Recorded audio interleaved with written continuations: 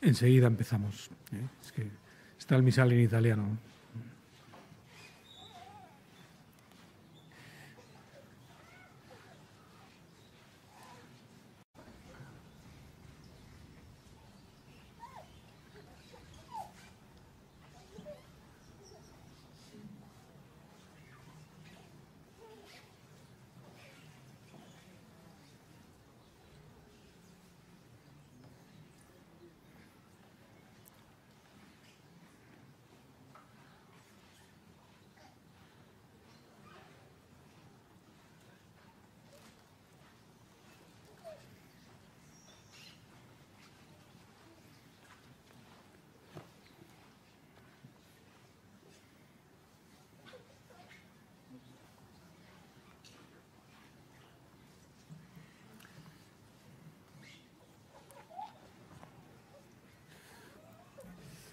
En nombre del Padre y del Hijo y del Espíritu Santo. El Señor esté con vosotros. Hermanos, para celebrar dignamente estos sagrados misterios, reconozcamos nuestros pecados. Yo confieso ante Dios Todopoderoso y ante vosotros, hermanos, que he pecado mucho de pensamiento, palabra, obra y omisión por mi culpa, por mi culpa, por mi gran culpa. Por eso rogo a Santa María, siempre Virgen, a los ángeles, a los santos y a vosotros hermanos, que intercedáis por mí ante Dios nuestro Señor. Dios Todopoderoso tenga misericordia de nosotros, perdone nuestros pecados y nos lleve a la vida eterna. Amén. Señor, ten piedad.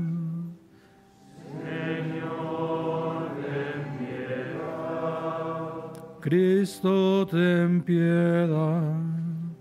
Cristo, ten piedad. Señor, ten piedad. Señor, ten piedad. Oremos. Concédenos, Dios Todopoderoso, que quienes desfallecemos a causa de nuestra debilidad, encontremos aliento en la pasión de tu Hijo unigénito, el que vive y reina contigo en la unidad del Espíritu Santo y es Dios por los siglos de los siglos.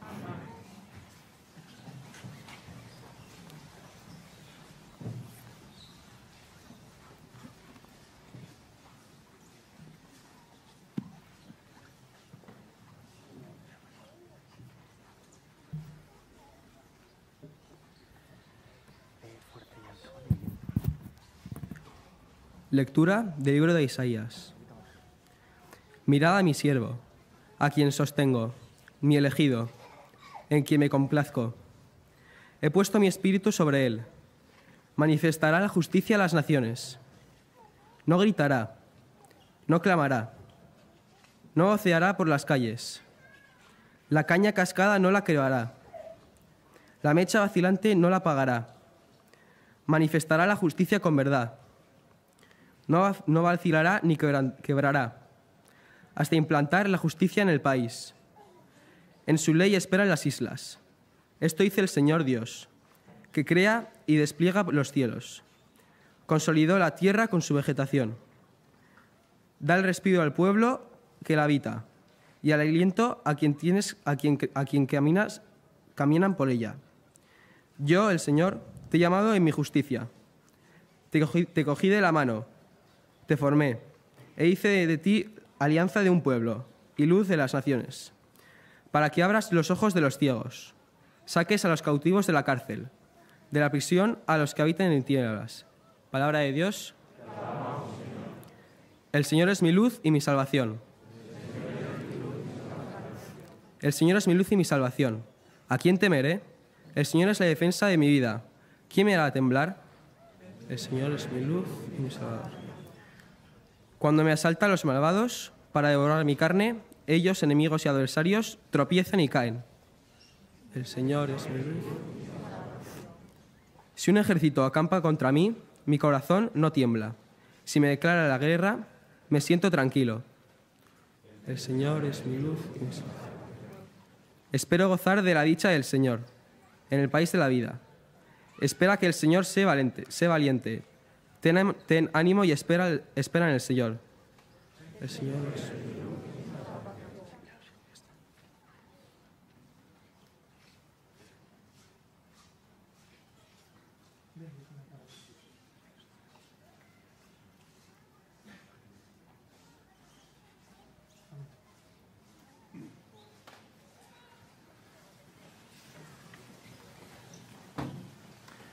El Señor esté con vosotros. Lectura del Santo Evangelio según San Juan.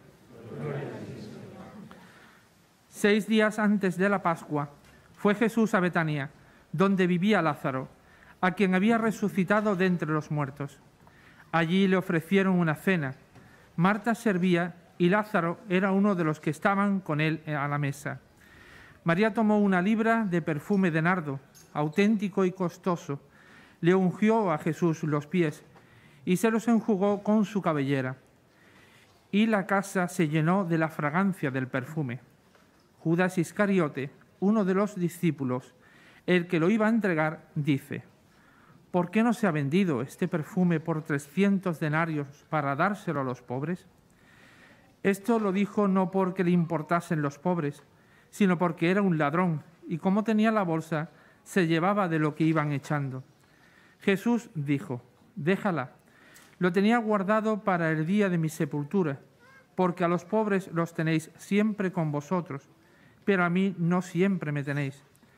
Una muchedumbre de judíos se enteró de que estaba allí y fueron no solo por Jesús, sino también para ver a Lázaro, al que había resucitado de entre los muertos.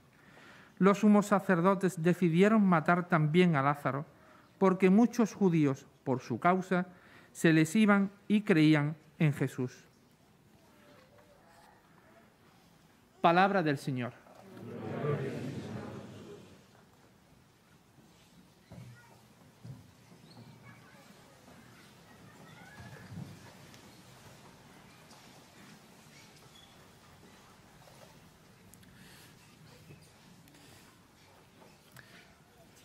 En este día del lunes santo contemplamos una escena del Evangelio en Betania. ¿eh? Jesús va a la casa de esos hermanos, amigos suyos, ¿eh? la casa donde él se sentía también muy a gusto. Está allí y en, ese, en ese escenario, en la casa de Betania, tiene lugar esta escena en la que, en la que María, la hermana de Marta y de Lázaro, eh, unge al Señor con un perfume, como nos dice aquí, de nardo auténtico y costoso. Le ungió los pies y los enjugó con su cabellera y la casa se llenó de la fragancia del perfume. Era un perfume carísimo.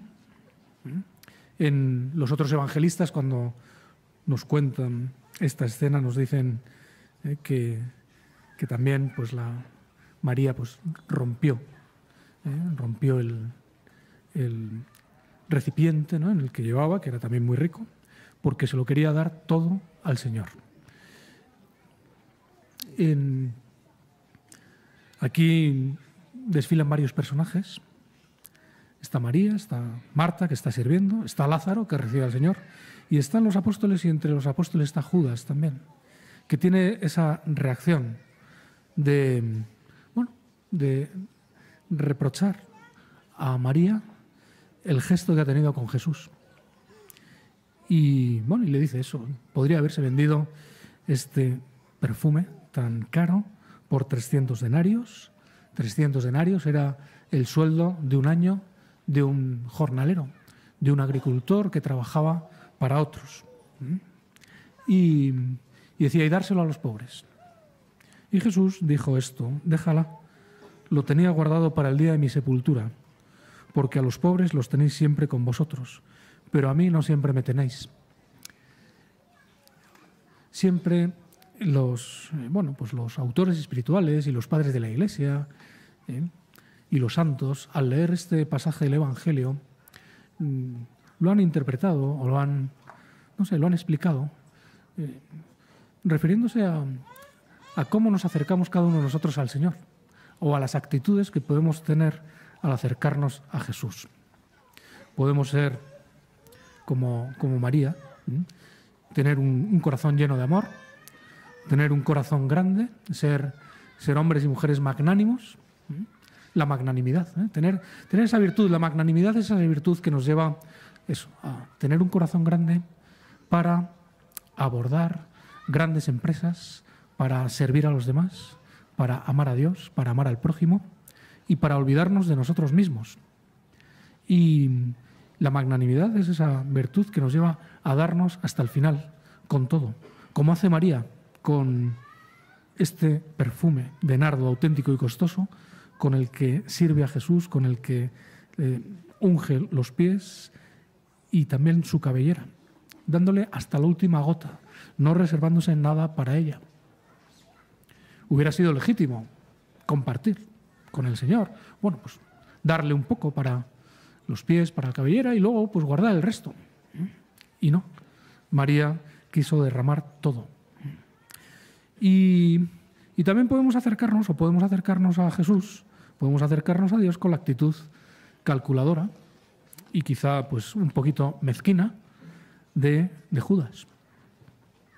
La verdad es que, también al, al pobre Judas le vamos eh, colgando, por así decirlo, todos los defectos, pero no, es que, no es que aquí ahora queramos denigrarle. Pero nos puede pasar a veces que ante, bueno, pues no sé, ante el deseo que tiene Dios de darnos algo, ante el deseo que tiene Dios de entrar en nuestra vida, eh, reaccionemos así, es decir, bueno, bueno, vamos, ¿eh? vamos a vender esto porque se le puede dar a los pobres y se puede calcular. El caso es que Judas, eh, por seguir al Señor de, lejos, por seguirle sin generosidad, por seguirle eh, de una manera calculadora, acabó traicionándole. Y acabó eh, vendiéndole, como mañana lo veremos ¿no? en, el, Evangelio del, del, Martes Santo, acabó vendiendo al Señor por 30 monedas de plata. Qué pena, ¿verdad? Quizá, pues tú y yo, que estamos en estos días en una peregrinación a Fátima, podemos mirar o mirarnos en el espejo de nuestra Madre la Virgen, ¿eh?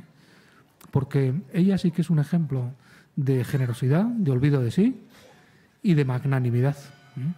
Podemos decir sin duda que cada uno de nosotros está aquí, estamos aquí, hemos venido a ver a la Virgen, pero estamos, ¿eh? tenemos fe, Dios a entrar en nuestra vida, pues por ese acto de generosidad, de olvido de sí, de magnanimidad que tuvo la Virgen cuando eh, recibió la anunciación del ángel. ¿eh? Así que vamos a terminar ya estos, minutos de homilía y le podemos pedir a la Virgen esto, que, que nos haga ver, que nos ayude a saber a qué hemos venido a peregrinar a Fátima y que ella nos haga descubrir qué quiere Dios que nos llevemos de aquí. Que así sea.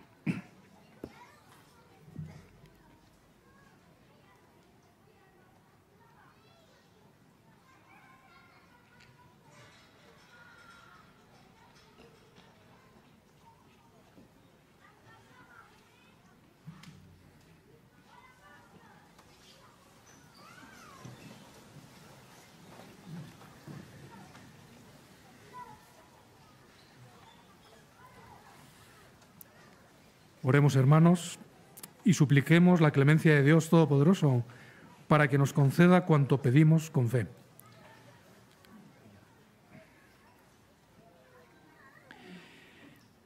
Para que el Redentor del mundo, que se entregó a la muerte por su grey, libre siempre a la Iglesia de todo mal. Roguemos al Señor. Para que el Redentor del mundo, que oró con lágrimas en la cruz, interceda ante el Padre por todos los hombres y especialmente por quien nos, encon nos encontramos hoy en Fátima. Roguemos al Señor. Para que el Redentor del mundo, que tuvo tanta angustia y tristeza, dé la paz a todos los que sufren, especialmente pare la guerra en Rusia y en Ucrania, y dé a todas las almas paciencia, paciencia en la tribulación y alivio en los dolores. Roguemos al Señor. Para que el Redentor del mundo recuerde con veneración a cada uno de nosotros en la cruz. Roguemos al Señor. Por todos nuestros familiares difuntos y por todos los fieles difuntos. Roguemos al Señor. Que lleguen a tu presencia, Dios, Dios eterno, las súplicas de los que te invocan, para que vivamos siempre de aquel mismo amor que movió a tu Hijo a entregarse a la muerte por la salvación del mundo, por Jesucristo nuestro Señor.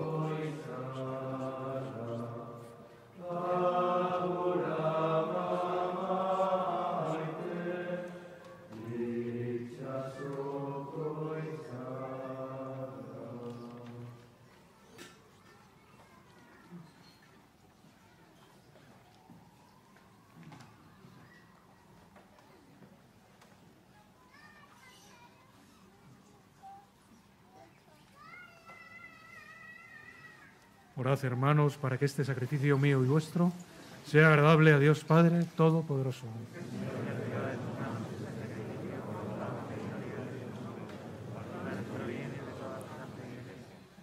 Mira, Señor, con bondad los santos misterios que estamos celebrando, y ya que tu amor providente los instituyó para librarnos de nuestra condena, haz que fructifiquen para la vida eterna.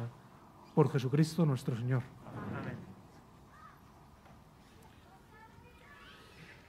El Señor esté con vosotros. Levantemos el corazón. Demos gracias al Señor nuestro Dios. En verdad es justo y necesario, es nuestro deber y salvación, darte gracias siempre y en todo lugar, Señor Padre Santo, Dios Todopoderoso y Eterno, por Cristo, Señor nuestro, porque se acercan los días de su pasión salvadora y de su resurrección gloriosa. En ellos se actualiza su triunfo sobre la soberbia del antiguo enemigo y celebramos el misterio de nuestra redención. Por él, los coros de los ángeles adoran tu gloria eternamente, gozosos en tu presencia. Permítenos asociarnos a sus voces, cantando con ellos tu alabanza. Santo, santo, santo es el Señor, Dios del universo. Llenos están el cielo y la tierra de tu gloria. Osana en el cielo. Bendito el que viene en el nombre del Señor. Osana en el cielo. Santo eres, en verdad, Padre, y con razón te alaban todas tus criaturas, ya que por Jesucristo, tu Hijo, Señor nuestro, con la fuerza del Espíritu Santo, das vida y santificas todo, y congregas a tu pueblo sin cesar, para que ofrezcan tu honor un sacrificio sin mancha, desde donde sale el sol hasta el ocaso. Por eso, Padre, te suplicamos que santifiques por el mismo Espíritu estos dones que hemos separado para ti, de manera que se conviertan en el cuerpo y la sangre de Jesucristo, Hijo tuyo y Señor nuestro, que nos mandó celebrar estos misterios. Porque él mismo, la noche en que iba a ser entregado, tomó pan y dando gracias te bendijo, lo partió y lo dio a sus discípulos, diciendo, Tomad y comed todos de él, porque esto es mi cuerpo, que será entregado por vosotros.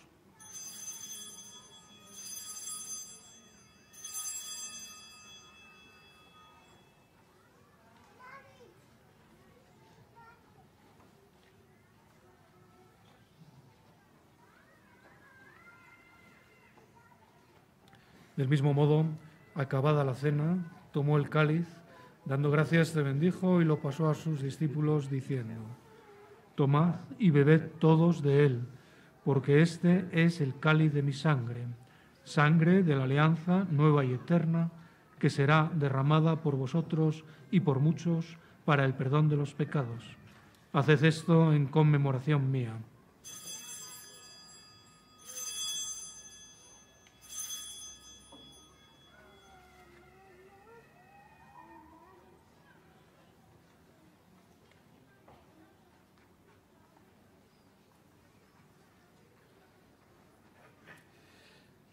Este es el sacramento de nuestra fe.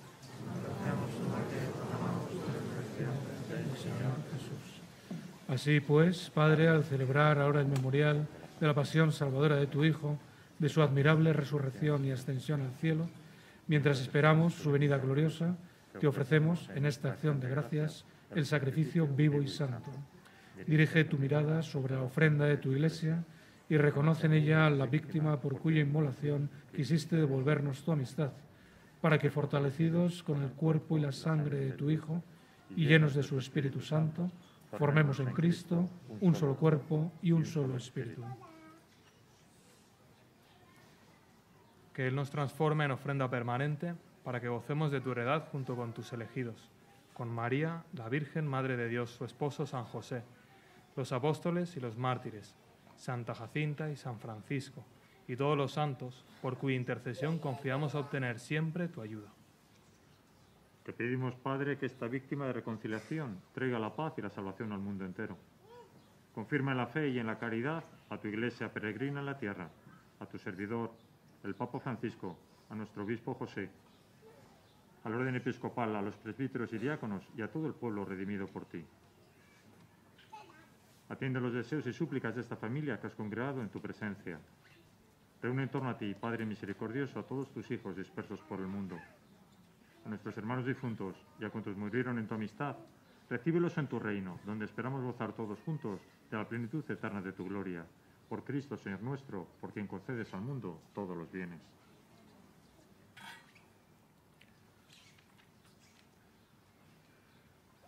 Por Cristo, con Él y en Él, a ti, Dios Padre Omnipotente, en la unidad del Espíritu Santo, todo honor y toda gloria por los siglos de los siglos. Amén.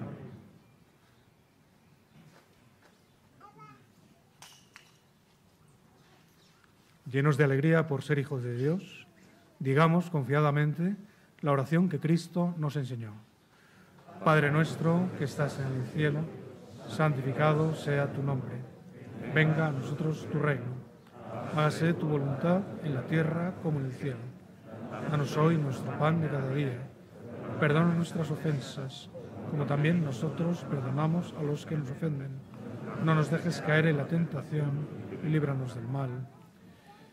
Líbranos de todos los males, Señor, y concédenos la paz en nuestros días, para que, ayudados por tu misericordia, vivamos siempre libres de pecado y protegidos de toda perturbación, mientras esperamos la gloriosa venida de nuestro Salvador Jesucristo. Siempre, Señor. Señor Jesucristo, que dijiste a tus apóstoles, la paz os dejo, mi paz os doy. No tengas en cuenta nuestros pecados, sino la fe de tu Iglesia, y conforme a tu palabra, concédele la paz y la unidad, tú que vives y reinas por los siglos de los siglos. La paz del Señor esté siempre con vosotros. Cordero de Dios, que quitas el pecado del mundo.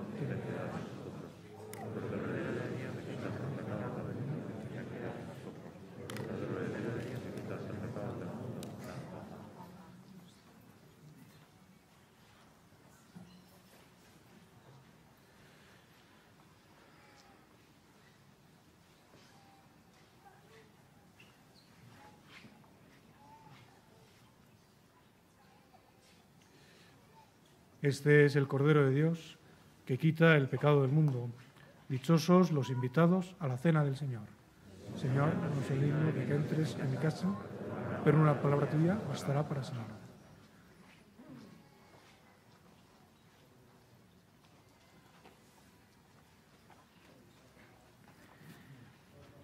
Para recibir la comunión nos han pedido del santuario que lo hagamos en la mano.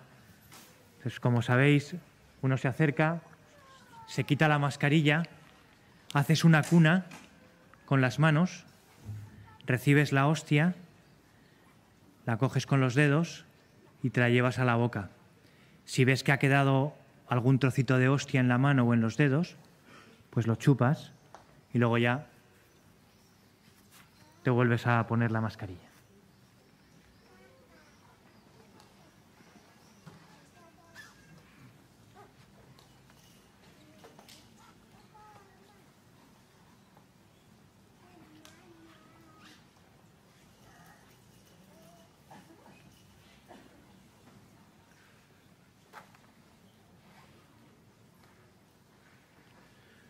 No me escondas tu rostro el día de la desgracia. Inclina tu oído hacia mí.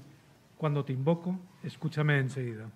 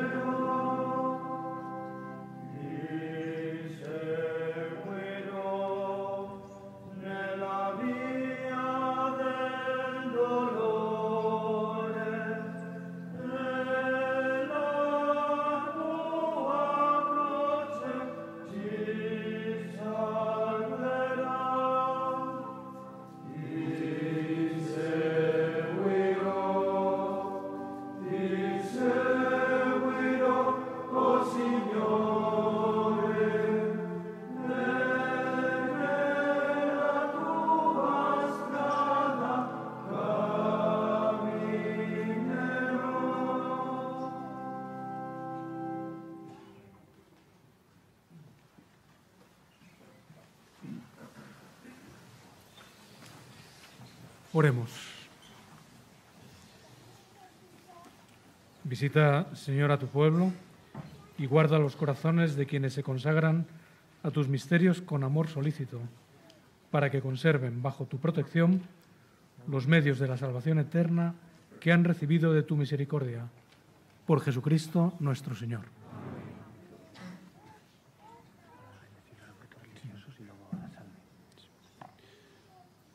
Ahora vamos a bendecir los objetos religiosos que tengáis.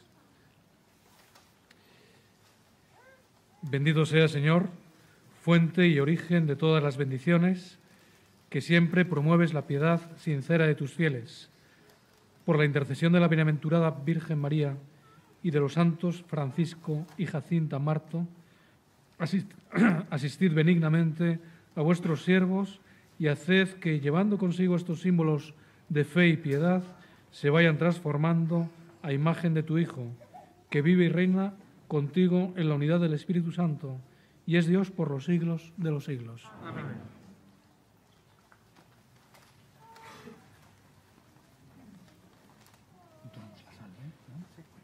Vamos a cantar la salve.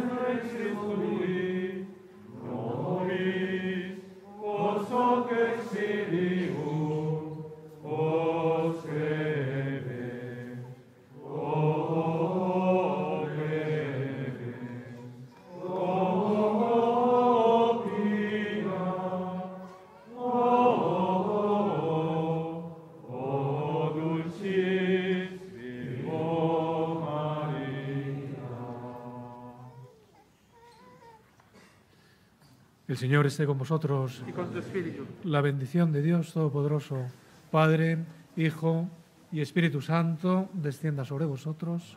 Amén. Podéis ir en paz. Demos gracias a Dios.